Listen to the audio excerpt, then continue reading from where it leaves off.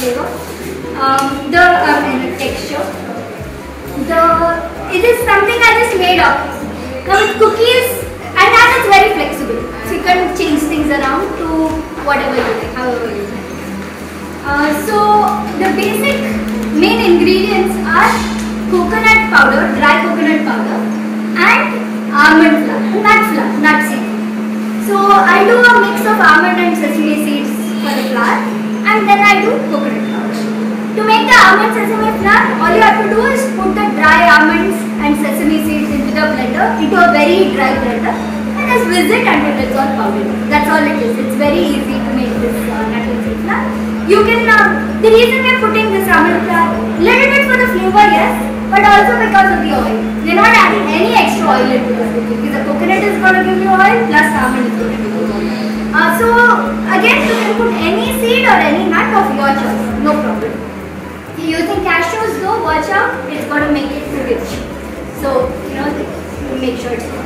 And also, if you're using, uh, you could use hazelnuts. So you could turn these, the same procedure, you could turn it into hazelnut cocoa cookies. You, know, can change it into various things. Gives a stronger coconut flavor. The raw coconut flavor is different than this dry coconut flavor, right? So, gives it So one sold as desiccated. Yes, it's sold as desiccated. You can buy dry coconut and grind it in your uh, house also. Kobri, ah, kobri, not uh, Telugu. Yeah, yeah. So that that's what I meant. As in, it's a flexible recipe. So what you could do is you can put more of the nut or seed flour. Or you can reduce or you can eliminate the coconut also. No problem. Instead of coconut, you put something with the oil content. Even if you don't put that, if you put only one cup of that flour and you want to put, uh, you know, wheat or something in it or some other uh, flour, then you put a little oil. Like one or two spoons of oil, no problem. It's a very, very, you know, very easy recipe, very flexible, very versatile. So you can try various things with it, you know, no fixed. Yeah. Uh, one cup of uh, your nut and seed flour. So we're going to do about 3 4 cup of almond flour and 1 4 cup of sesame So you don't, if you want, you can lightly toast the sesame seeds or almonds. If you want, you can just directly uh, blend it in. It's up to you. It will slightly change the taste. That's it. So it's really up a uh, less coconut, so we're putting a little more almond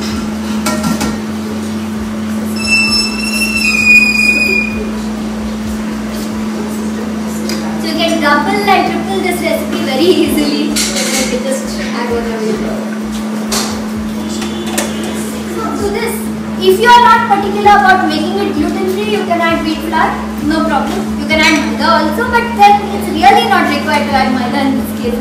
It gives you absolutely no uh, taste benefit and obviously no health benefit. So only if you don't have anything else at home, just add. You can do this with ragi, you can do it with jowar, your, you can even try it with rice if you like rice flour. So you can use various flours and try it. Um, it may not be that great with besan flour, but the others, you know, maki and jowar and bajra. How much of ragi could we add? Yeah, so the, the flour content, uh, he's getting it. Uh, so we're gonna add half a cup. So if you're adding one cup each of your coconut and the nut and seed, you add half a cup of the, half the quantity of, of the flour, whichever whatever flour that you use. So it's the same case with wheat also, just do half.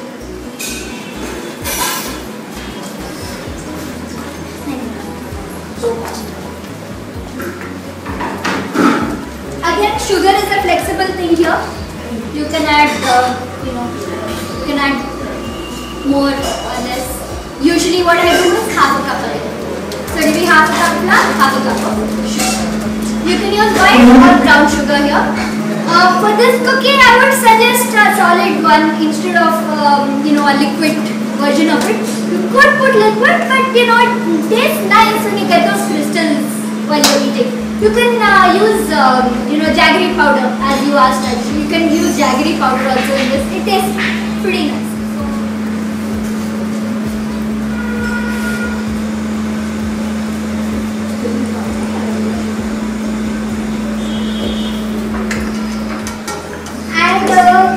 Pinch of salt again. So about you know a quarter teaspoon of salt. Mix it. Then you add a little water at a time and you mix it till you get a stiff dough.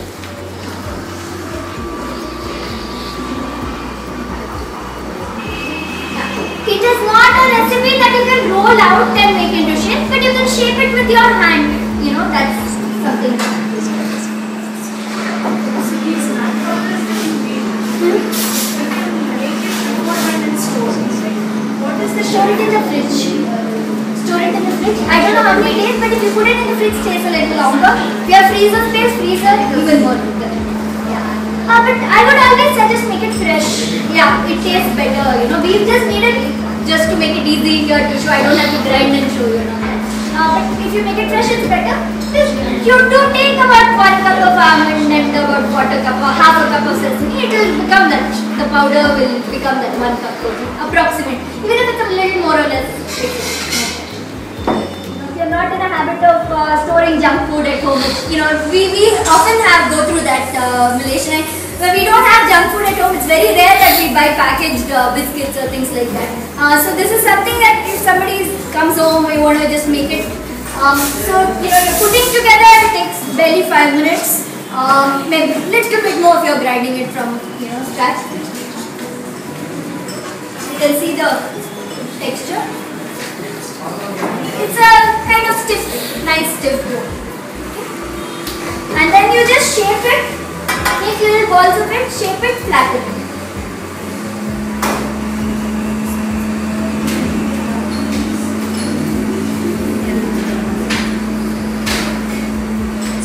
Something like this. You can see and then just flatten. That's about it. It's not very sticky, it won't stick. Very easy and quick to put together. Uh, so you can bake, you can make this.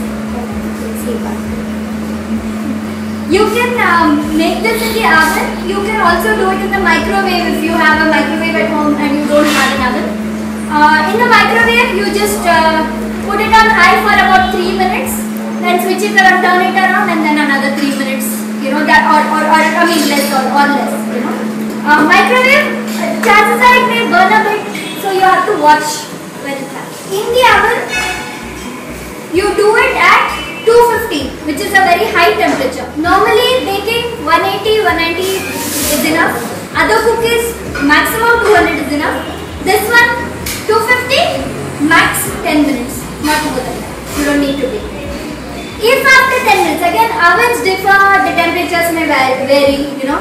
So if after 10 minutes you feel you need a little more baking, reduce the temperature to 180 at that point and then do another 5 minutes if you feel, otherwise will get cold. So it's important. Um, would anyone else like to try shape it, anything like that?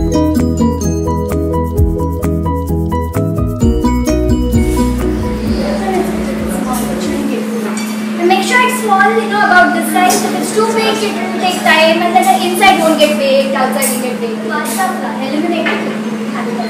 Because bajra, bajra is not really green. So, uh, but yes, that's a good question though.